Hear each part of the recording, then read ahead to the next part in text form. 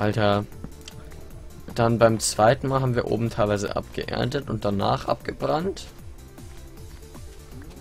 Und dann ist das ja schon das dritte Mal, wo das Laub wieder selber verschwindet.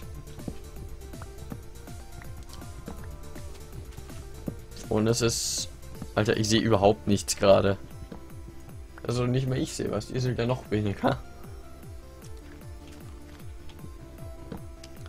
Einfach nirgendwo mehr Fackeln sind. Die Bäume haben meine Fackeln kaputt gemacht. Diese niederträchtigen, gemeinen Bäume.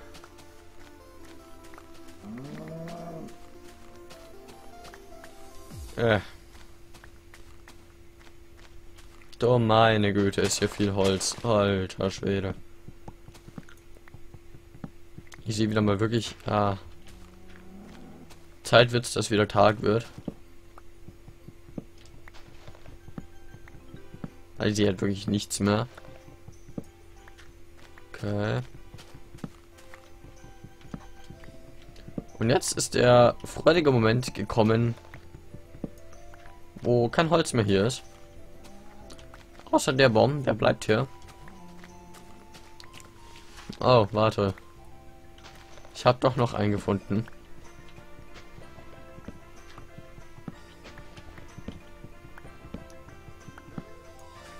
Okay.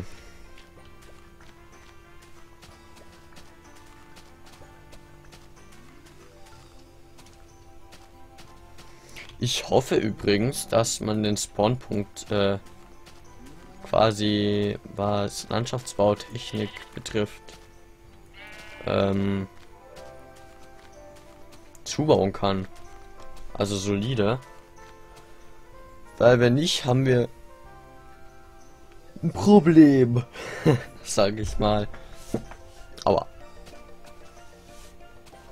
Da liegt ja doch etwas unterhalb der Ebene, wo ich bauen wollte. Jetzt gehen wir erstmal wieder rüber und holen uns noch alle anderen Setzlinge. Ich glaube, ich hätte den Baum doch abreißen.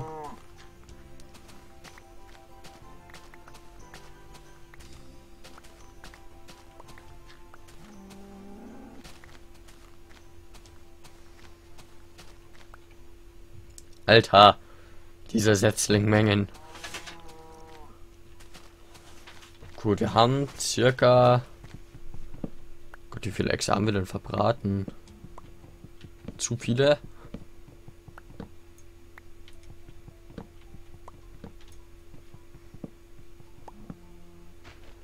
Kann man das sagen? Einfach nur, dass wir zu viele Äxte verbraten haben?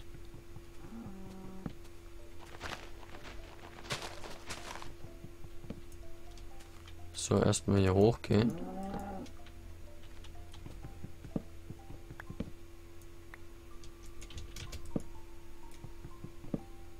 Alter.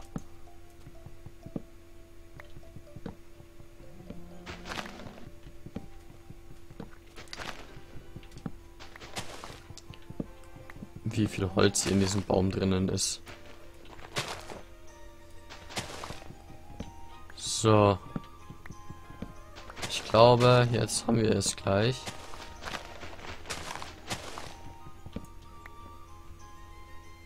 Ha, endlich.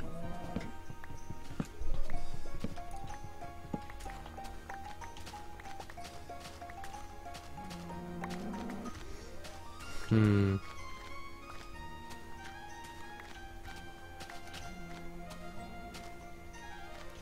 So, jetzt schauen wir einfach mal zu, wie schnell das hier letztendlich geht. Gut, da vorne muss ich, glaube ich, Block-Update ausführen bei dem da.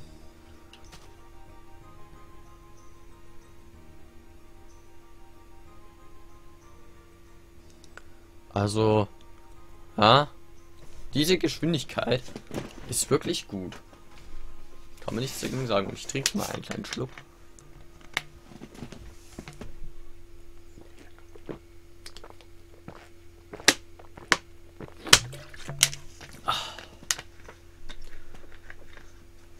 Heute mal kein Wasser, sondern Orangenlimonade.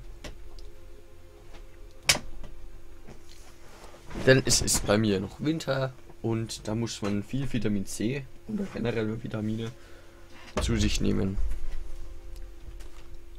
Und in Getränken aus Früchten ist, sind davon erfahrungsgemäß etwas mehr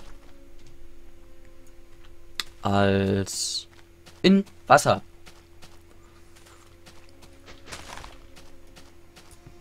So. Jetzt ist es raus, ja. So.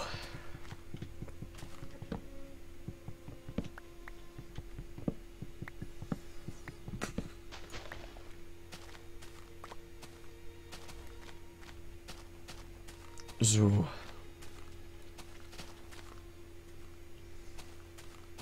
Ich finde aber die reine Menge an Setzlingen echt, ja, übertrieben will ich jetzt nicht sagen, aber äh, übertrieben trifft es halt ganz gut. Ich habe acht Stacks Setzlinge hier rausgekriegt. Oh, warte, neun.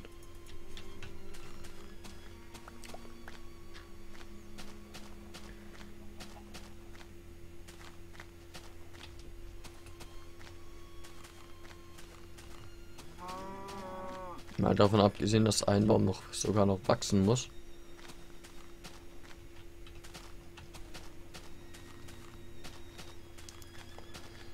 Und ich glaube, es waren vorher nur 8 Stacks Holz. Generell. Das haben wir schon verdoppelt. 10, 11, 12, 13 Stacks Holz waren es ungefähr. Ja, das ist schon viel. Gut. Als nächstes holen wir uns erstmal die ganze Erde raus. Und ebnen hier unten. Schon mal ein bisschen weiter hier ein.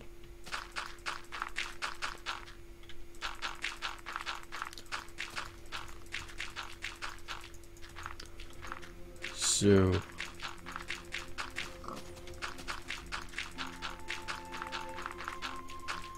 So. Eh, danke. La la la la la la la la.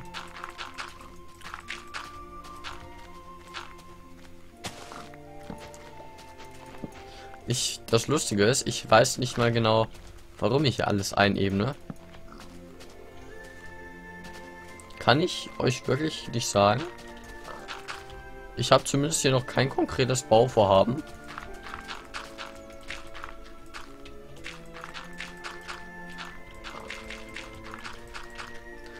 Aber Twix Bauwerke muss ich, glaube ich, fast allmählich akzeptieren, dass ich eh eher ein Minecraft-Spieler bin,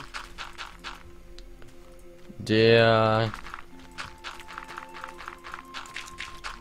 sich mehr landschaftsbautechnisch immer mal wieder alter austobt. Das wirklich Bauwerke.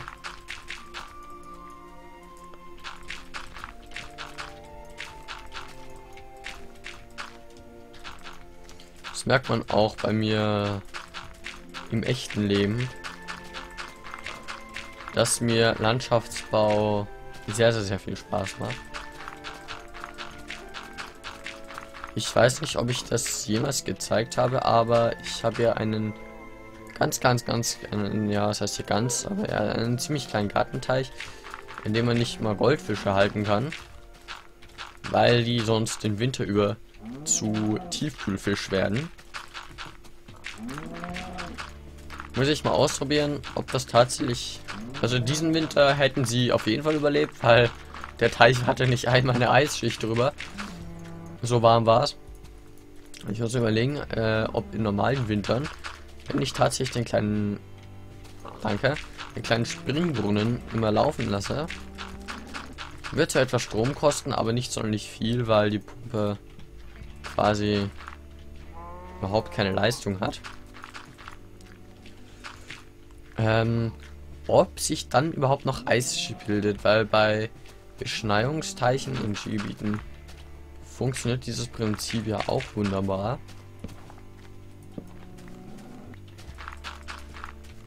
Sage ich jetzt mal. Da haben sie auch immer einen kleinen Brunnen am Laufen, der halt immer das Wasser in Bewegung hält. Und wenn das Wasser in Bewegung ist, ob es jetzt durch Reibung wesentlich Energie aufnimmt, keine Ahnung. Vermutlich nicht. Also die Reibung macht weniger aus, aber vielmehr kann ja äh, bei Wasser, das ständig in Bewegung ist, kann sich ja nicht wirklich eine Eisschicht bilden, oder?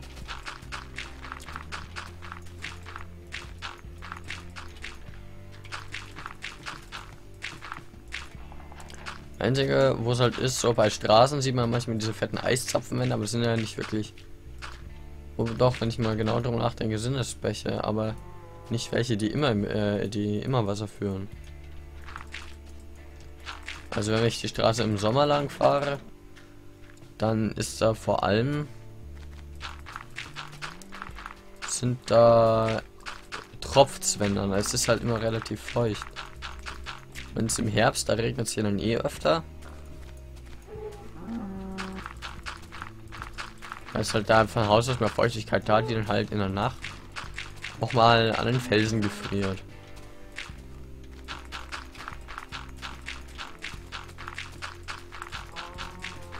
Ansonsten so, so ein Bach, also der da immer, äh, der da so fröhlich vor sich hin plätschert, der gefriert ja nicht. Der fließt ja immer. Und mit dem Prinzip müsste ich doch eigentlich den Gartenteich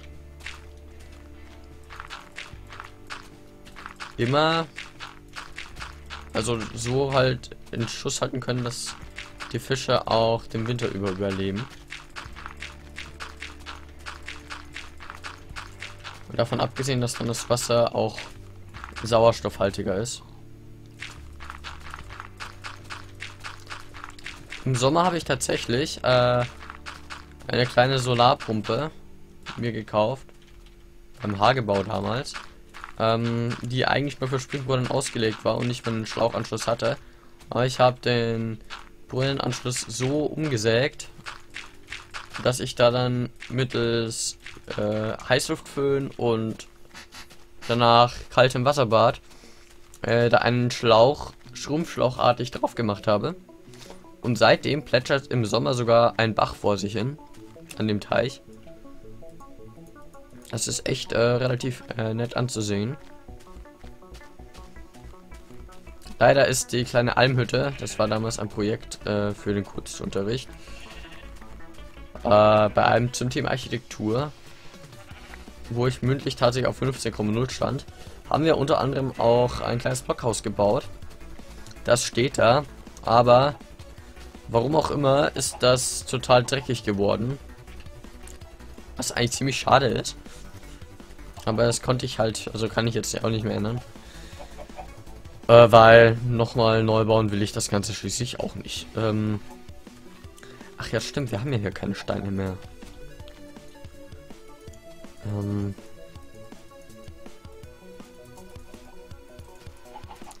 haben wir erstmal acht Schaufeln.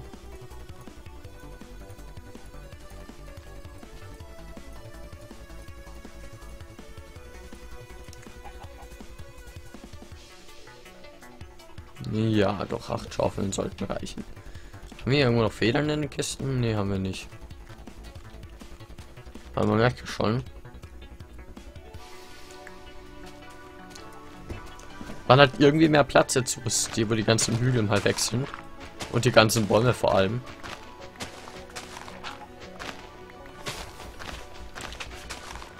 Vielleicht hätte ich mir auch zwei Spitzhack machen sollen, weil ich glaube, dass da drunter schon ein Stein zum Vorschein kommen könnte. So rein vom Gefühl her.